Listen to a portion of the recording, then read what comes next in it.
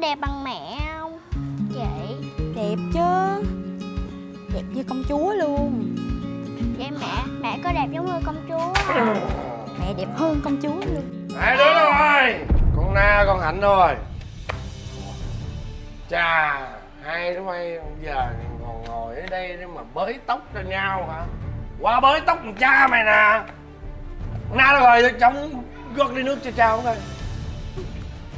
Mệt quá vậy này cơm nước xong chưa mà ngồi ngoài này vậy? Hả? Ờ, Dạ xong rồi. Lấy lấy cơm lấy nước cho ăn thôi Ơ. cái gì vậy na? Làm cái gì vậy? Ba Ờ. Ba đừng có la nó nữa. Ba muốn đánh mới đánh con nè. Được rồi hôm nay sẽ dạy cho hai chị em bay một bài học. Na đi vô trong nhà đi nè Nói chị hai bị đánh nó sao? Bảo vệ cho nhau nha nay tao đập hai chị em bay một trận. Cho biết thôi.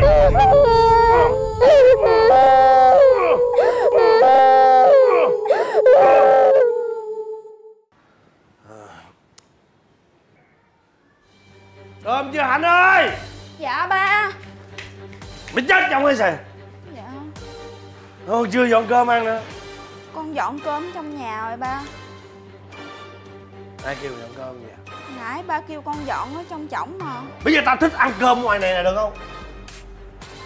Tại sao mày làm cái gì mày chui rút ở trong nhà hoài vậy anh tại sao vậy? Tại sao không chịu đi ra ngoài kiếm cái gì đó làm? Mày cứ gu rú trong nhà hoài sao có tiền? Sao có tiền? Sao có tiền để mà mua gạo mua cơm để nhét vô họng tao? Tại sao mày cứ đi học hoài á Con đi học ba cũng không cho. Rồi á Con ăn ba cũng không cho. Suốt ngày hai chị em của con cứ ở trong nhà không à bây giờ đứng này mày đánh em không? Hả? Hả? Ba đừng có đánh chị hai mà ba.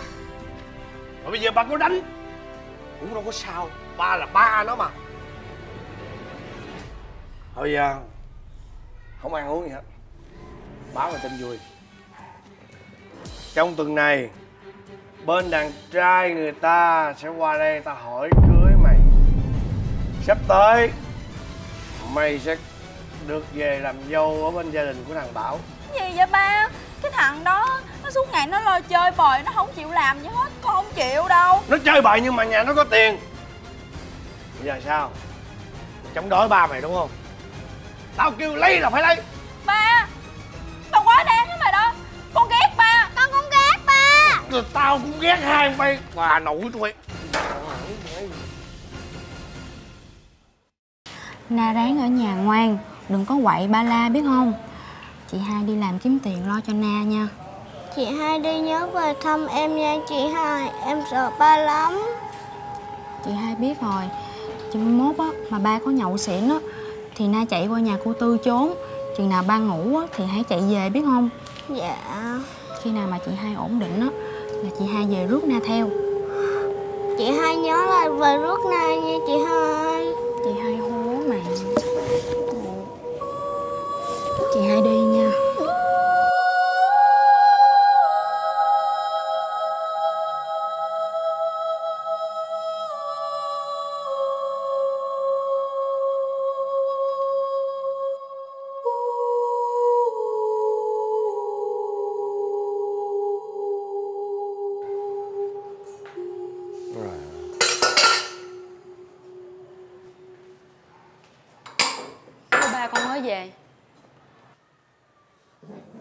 gì?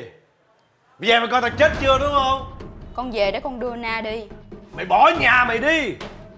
Mười năm trời mày đâu có về đây. Rồi tự nhiên bây giờ mày về đi Mày đòi mày dẫn thằng con Na đi à? Chứ để nó ở đây để cho ba đánh nó nữa hả gì?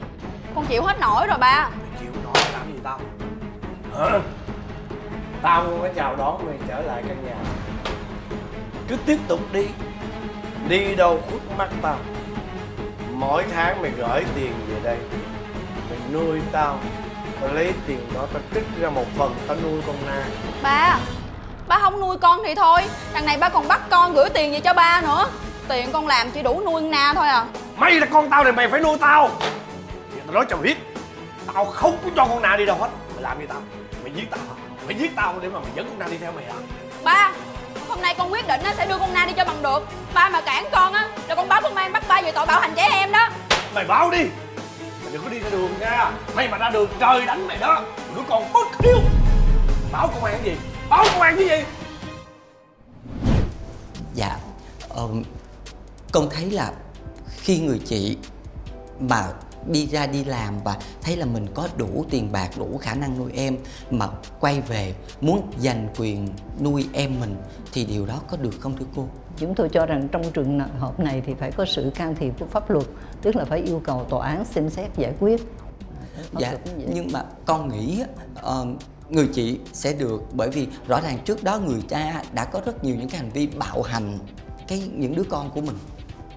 Dạ thưa nó như thế này mình suy nghĩ là như vậy Dạ. nhưng mà không phải đương nhiên như vậy cái gì nó cũng có pháp luật hết á Dạ. pháp luật thì theo pháp luật mà con chưa thành niên thì cha mẹ chính là người đương nhiên đại diện theo pháp luật và cha mẹ là nói nôm na là có thể là cái người giám hộ Dạ. Và khi nào cha mẹ không thực hiện được thì mới đến là người anh người chị vậy trong trường hợp này nếu mà người cha cương quyết không chịu mà đi đến cái chỗ giữa người cha với người chị căng thẳng nhau thì nếu không giải quyết được ổn thỏa trong gia đình bàn bạc với nhau Dạ. thì coi như là có thể là sẽ phải đưa ra tòa ra tòa thì phải yêu cầu xin tuyên bố cái người em là có thể trường hợp này thì không phải nói hoàn toàn là mất năng lực hành vi dân sự nhưng mà có thể nói là bị khó khăn trong nhận thức trong Dạ. cái hành vi Rồi như vậy nó bị hạn chế phần nào phải không thì là sẽ cũng sẽ cử người giám hộ và nếu người cha ờ, cũng đòi giám Giành hộ giám hộ. rồi người chị cũng đòi giám hộ thì à,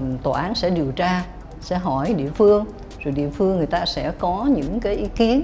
Người ta biết được rõ ràng rằng trong thời gian mà chung sống thì người cha có nhiều lần đánh đập con. Và trong này nhân đây cũng muốn nói là đây là có luật là phòng chống bạo lực gia đình. Thì trong trường hợp này là người cha đối với con thì Dạ. có thể là vì cái sự có hành vi bạo lực gia đình đó thì không thể giao cho cái người cha làm giám hộ được mà khả năng rất rất lớn là người chị sẽ là người giám hộ tại vì người cha lại cũng không có cái việc làm nữa Dạ. phải không Nhưng nếu như con đặt trường hợp là người cha vẫn không đồng ý Vậy thì người chị cần phải làm gì để có thể con nói rõ ràng là bảo vệ cái sự an toàn của em mình Dạ, thưa tôi cho rằng điều đó là Đình Toàn nói rất trúng thì trong trường hợp Dạ. này như tôi cũng vừa nói là có thể là ờ, yêu cầu tòa án để Dạ. mà xin tuyên bố người em của mình có thể mình nói là không có năng lực hành vi dân sự nhưng mà sau khi giám định chắc chắn phải đi giám định rồi giám định thì cái kết luận của cái hội đồng giám định về y khoa người ta sẽ kết luận trường hợp này là không có năng lực hành vi dân sự hay là bị khó khăn về nhận thức Dạ. về hành vi nhưng thì là dù trong trường hợp nào thì cũng sẽ cử được người giám hộ người đại diện theo pháp luật Dạ. Vậy, dạ.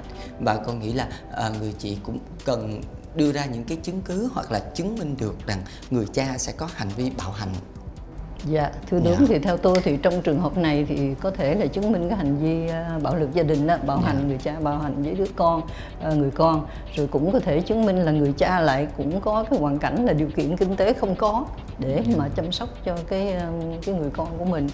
Thưa quý vị khán giả, với bản thân chúng tôi, những người thực hiện chương trình thì chúng tôi vẫn luôn mong muốn rằng mỗi chúng ta, mỗi vị khán giả chúng ta đều có một gia đình hạnh phúc.